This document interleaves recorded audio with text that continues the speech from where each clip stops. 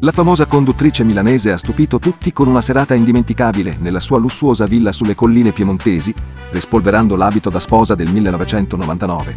È stato emozionante indossare di nuovo quell'abito, soprattutto perché le mie amiche erano con me, proprio come 25 anni fa, ha rivelato su Instagram. La serata ha visto protagonisti non solo Benedetta e Fabio, ma anche i loro tre figli, Matilde, di 22 anni, Eleonora, di 20, e il giovane Diego, che ha appena compiuto 15 anni. La coppia, sposatasi l'11 luglio 1999, ha finalmente celebrato il loro anniversario, posticipato per ragioni non rivelate. La festa è stata un vero e proprio evento, con tutti i rituali tradizionali, dal taglio della torta al lancio del bouquet.